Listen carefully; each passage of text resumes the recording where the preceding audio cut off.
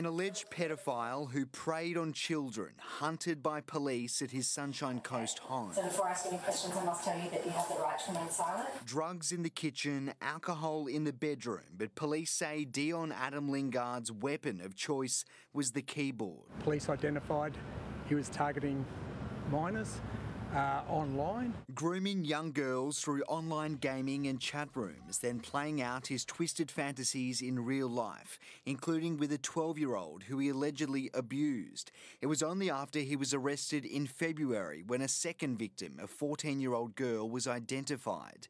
Upon seizing his electronic devices, detectives say they uncovered a trove of child exploitation material, including videos filmed by the 31 year old. It's absolutely frightening for every parent, carer, educator in the whole of the country, really, not just on the sunny coast. Lingard is facing 116 charges, including rape, stalking, taking a child for immoral purposes, and drug supply.